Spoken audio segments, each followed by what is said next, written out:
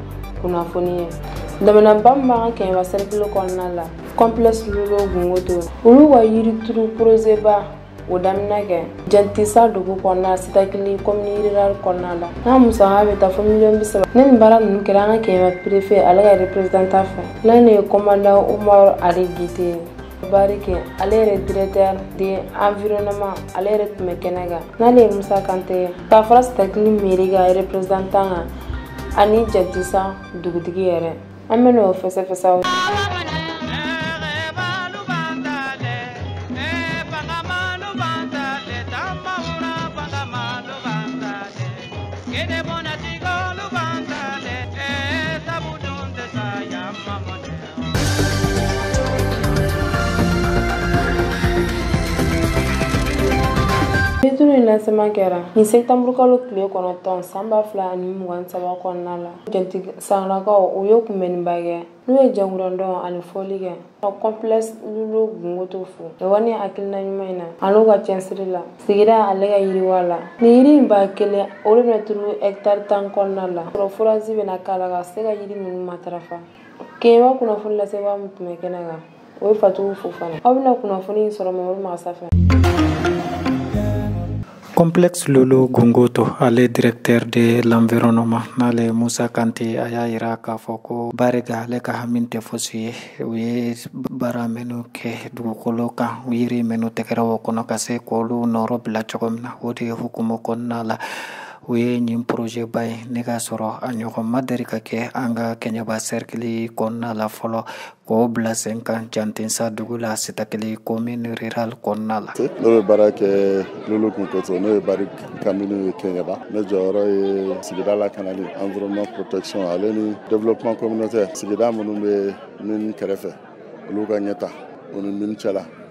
o bɛ se ka ɲa cogo min na bi an bɛ yan yirituru kadara de kɔnɔ o y'anw talan ye mali gouvernement yɛrɛ ye a kanu ka fɔ nin wagati ninnu ka kɛ wagati ye mun de dilen don yirituru la an ka opération an ka siti kan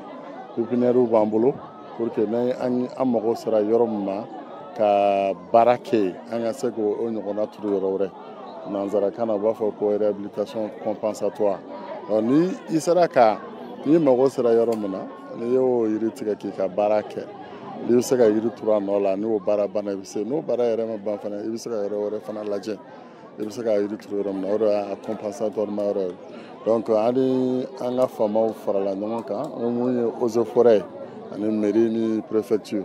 donc olu de y'a conseillé k'a fɔ ko antisa dugu ko yɔrɔ bɛ sɔrɔ se ka hectare tan turu yɔrɔ min na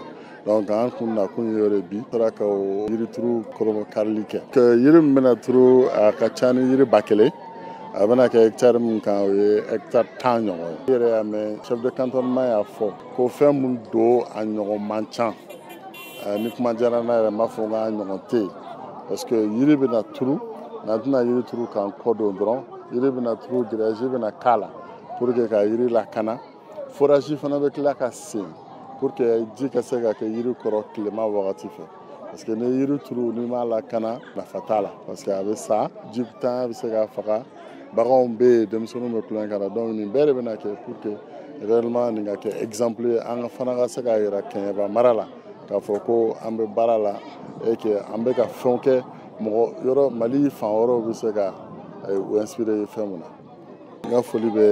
tantisakaw ye musow denmisɛnninw eh, dugutigi an'a ka kɔnseyew n ka foli b'u bɛɛ ye aw yɛrɛ y'a ye jama bɔra cogo min na kɛra nisɔndiyaba ye ka a fo ye fana baara min don an y'a kɛ mɛ je pense que a nafa bɛ so hali olu yɛrɛ ma ka tɛmɛ anw yɛrɛ kan n'i y'a mɛn ko sigida ye ko yiri n'i y'a mɛn ko sigida ye ko san n'i ko ko san i ko yiri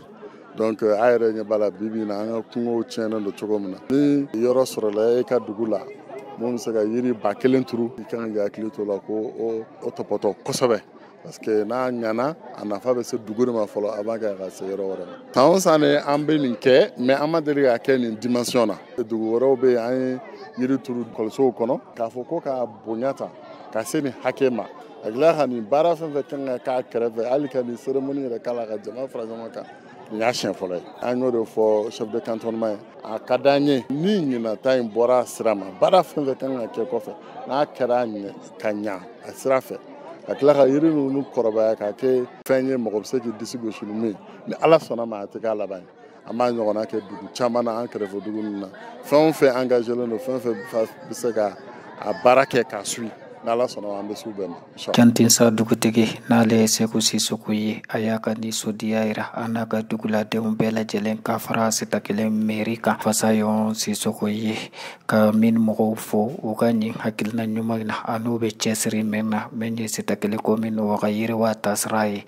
o y'a yira k'a fɔ ko olu b'u jɔ jɔyɔrɔ la walasa nin yiri ba kelen mɛn bɛ na turu nin hɛkitari tan in kɔnɔna la o bɛ se ka matarafa cogo min na. seko susɔgɔ chef de village jantinsa burela nitodiya min bɛ n dala jan bi aa aw ye fɔ man ɲagole n bɛ kɔntani fo n bɛ kɔntani wa ni ale sɔn ta ni man sisan ni ni na kɔnsiyɛli man sisan n bɛ fa kɛ to a la an dugu mɔgɔ b'a tolu k'a sera hali nin kɛ k'u man kan ka tiɲɛ mɔgɔ b'a ɲagami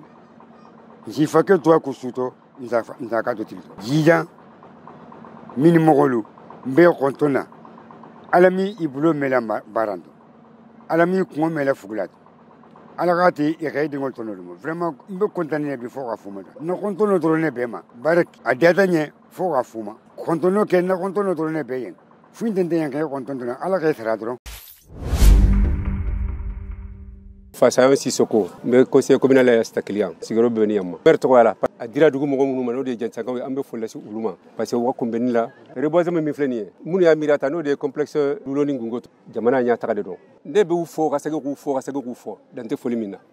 parce que n'i ye wari caman di mɔgɔ ma wari bɛ ban i bɛ se ka so dɔ jɔ mɔgɔ ye sisan so in bon n'a man jɔ ka ɲɛ dɔrɔn a bɛ bin mais n'i ye hakilina d'a ma hakilina min b'a ɲɛ k'a denw ɲa k'a mɔdenw ɲa ka kufɛlɛmɔgɔw ɲa donc n'i y'o d'a ma c'est comme n'i ye diɲɛ fɛn dɔ d'a ma quoi ni mɔgɔ min ye yiri turu donc o bɛɛ bɛ dɔ fara diɲɛ ɲataga de kan donc a bɛ dɔ fara diɲɛ lafiya de kan san kɛmɛ ɲinan kɔ ni yiri ɲana mɔgɔ bɛ bɔ a nu ma min tɛ min tɛ bi mɔgɔ ye quoi yiri ba kelen de kan ka turu yan tɛ comme ça an y'o de daminɛ tɛ giraji bɛ k'a la forage bɛ k'a kɔnɔ pour au moins jiko ka na yiriw sɔrɔ fɛn min n'a b'o cogo la o bɛɛ wariba de ye o bɛɛ ye musakaba de ye donc ne bɛ min fɔ jasakaw ye nin tɛ cɛkɔrɔbaw ka baara ye nin tɛ musokɔrɔbaw ka baara ye nin ye denmisɛnninw ka baara de ye denmisɛnnin cɛman n'a musoman donc nin y'olu de ka baara ye donc ɲinan ko san kɛmɛ normalement jiri ninnu filɛ ka turu dɔw bɛ ka n'a ɲɛna dɔrɔn dɔw ka san ni san kɛmɛ ye donc o la ko an k'u jantu la dɛ tasuma ka n'u jeni bɛɛ kan ka n'u tiɲa donc jurabala fana ka na n'a ka yan yɔrɔ kɛ jurabara yɔrɔ ye donc parce que o bɛ environnement tiɲɛ dɛ a bɛ sigida tiɲɛ a bɛ jiw ban a bɛ yiriw ban donc o de kɔni bɛ yen ne bɛ mun f'u ye u k'i janto ko tile o su o u ko bolo di ɲɔgɔn ma ni yɔrɔ mun y'u lafili u ko yaasi meri la meri fana b'i kanbo eh, jɔn ma b'i kanbo forestier mɔgɔ ninnu ma contre forestier parce que olu ka baara dɔ donc n ka hakili la donc ne kɔni b'u wele n bɛ min f'u ye u ka cɛma siri yiri ninnu kana tɔɔrɔ mɔgɔw kana bɔnɔ u ka baara la o de bɛ ni bɛ hakɛ to an ka kɛɲɛba perefe ale ka nɔrɔbila n'ale ye kɔmanda omar ali kite ye a y'a yira k'a fɔ nin poroze in a ɲɔgɔn ma kɛ an ka ka rezɔn kɔnɔna la fɔlɔ ani fana a y'a yira k'a fɔ ko nin poroze in a jɔyɔrɔ ka bon kosɛbɛ k'a ɲini sigidalamaw fɛ u k'u cɛ sira la walasa nin yiri ninnu bɛ se ka balo cogo min na a bɛ kɛ sini ɲɛsigi ye sabula min ye yiri ye a jɔyɔrɔ ka bon kosɛbɛ adamadenya yɛrɛ la ani a jɔyɔrɔ ka bon kosɛbɛ an ka environnement o lakanali tasira la monsieur le chef de village de Jantisa et ses conseillers monsieur le représentant du directeur général de Somilo SA, Monsieur les chefs des services régionaux présents, Monsieur le maire de Sitakili, mes chers concitoyens présents, permettez-moi de vous adresser mes vifs remerciements pour votre présence massive en cette cérémonie de lancement du projet de rebasement compensatoire de la mine de Somulo-Bungoto. Ce projet-là elle couvre une superficie de 10 hectares qui sera entièrement sécurisée en garage et à l'intérieur sera mis un forage pour vraiment arroser les plants au moment déficitaire. Au total, ces 1000 plants qui seront mis en place, ces 1000 plants sont composés par 30 espèces, par 30 essences différentes qui sont en voie de disparition dans la contrée. Pour la mise en œuvre de ce projet, c'est le cantonnement en synergie avec la mairie, la société minière euh, Somilo SA et en synergie avec le village de Gantissa. Je salue l'engagement de la société minière Somilo qui n'a ménagé aucun effort pour vraiment contribuer dans la restauration de l'environnement. Sur ce, je m'en vais aussi vous lancer les propos du préfet qui est aussi PC pour raison de maladie. Le préfet m'a chargé de transmettre à tout le village ses sincères salutations et encourage le village pour vraiment l'exécution de ce projet. Parce que ça sera un projet unique à son genre. Et c'est un projet, si c'est bien concrétisé, ça sera une référence sur le plan régional. Parce que c'est pour la première fois qu'un village décide vraiment de donner une superficie pour pouvoir vraiment à ah, faire des remboursements dedans. Donc pour ça,